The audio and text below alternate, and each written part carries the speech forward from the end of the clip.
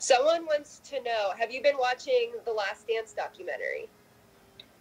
Well, I, I watched it too often with my uh, with my oldest daughter. You know, two episodes. You're not gonna believe it. We always had an argument with my oldest daughter. She's 11 now, and she was always telling me like, "Dad, who's the like goat? Who's the best player in the world?" And I was telling her, "MJ." You know, like Mike. So like, no, how about like Kobe or LeBron or other guys? I said, listen, you don't remember like how how special was Mike in his time. That's why, and she watched it, and she's she was also amazed as well too. You know, like, and he she started believing that you know Michael is the real real goat on this in in this basketball. Yeah. Oh, it's been it's been so great going back and like seeing all the old games and all the old footage that we don't get to see all that Absolutely. often anymore, and really appreciate how great of a player he was. Um, like I was telling, uh, when I first got in the league in 2000, you know, I was playing with the Kings. So MJ was, you know, after retired and he came back when he was playing in Washington. So uh, I always tell this story to people, like even that time, you know, like forget all what he did in the Chicago time. Even when he after retirement, when he came back, like I never felt nervous to anybody in my life.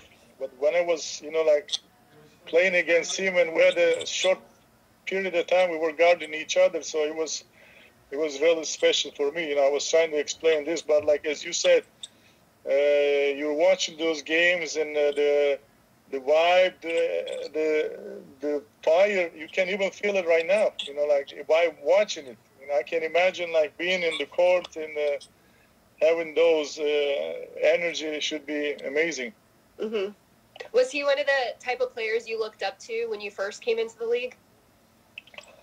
I mean, I always respected MJ as the as the goat, you know, like.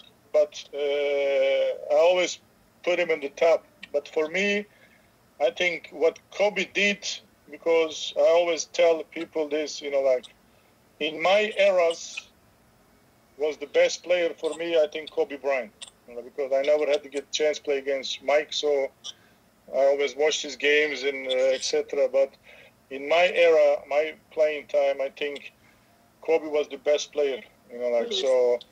I really, you know, was really upset about when he passed away. You know, it was really sad moment. The whole world, if you look at it, he had whole world kind of was shocked and really upset about it because what he did on the not just the basketball, but also uh, outside of basketball, you know, he had so many uh, when he passed away. So I, I can say that uh, MJ was really, I mean, uh, MJ was really the best of all. But like for my era, it's Kobe was really the best for me. I was really enjoying mm-hmm. playing against him, even though I, I didn't win anything against him, but still was the best player I was playing against.